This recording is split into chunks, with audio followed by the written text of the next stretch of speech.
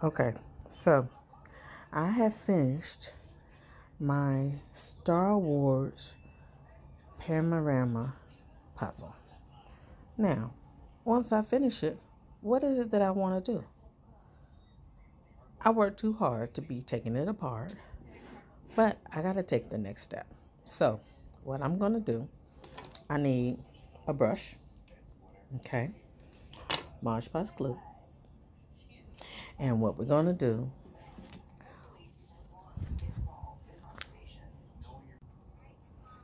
what we're going to do is take some glue, okay?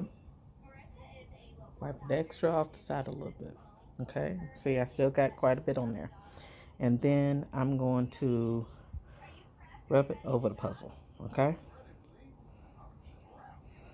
And it's pretty much covering all the creases and crannies just to make sure I got it on.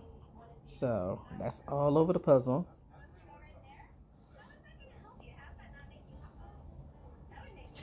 Get some extra. Okay.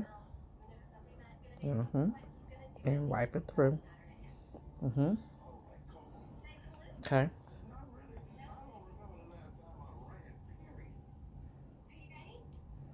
Okay. Now, this picture eventually is going to go in my office, my media center office, um, up across the wall. Yes, uh, I'm a geek. Um, and I love my Star Wars. I love all of my sci-fi. So it um, really means a lot to me to have it up there for me to look at. So I'm going to end up having to have at least two layers on each side.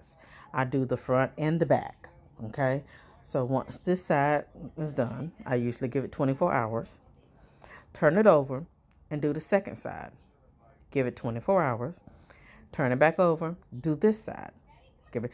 It's a little time consuming, but just a little bit of time you got to put into it. And I know in about four days, I will have this up on my wall and uh, adding it to the collection of other puzzles and sci-fi stuff, my um, Harry Potter stuff that I got in my office, all around my office. So I hope that helps you with what to do with your puzzles. Okay, everyone, we're doing the last coat of the front. So yes, I have my Mod Podge in my thing. Now, if I pick this up right now, you can see that it's pretty sturdy. Um, I could probably go from here. However, I do want to add another layer just to be safe. I'd rather be safe than sorry. And I don't take none of this information as far as me knowing it and everything. Uh, I got this from someone else, my good friend Christine. Christina, she uh, showed me how to put together my puzzles and so that I'm able to create them into posters to put up. So I'll show you the final project later. Now, this is the finished project. I finished it and it is posted in my office and we are ready to go. Yes.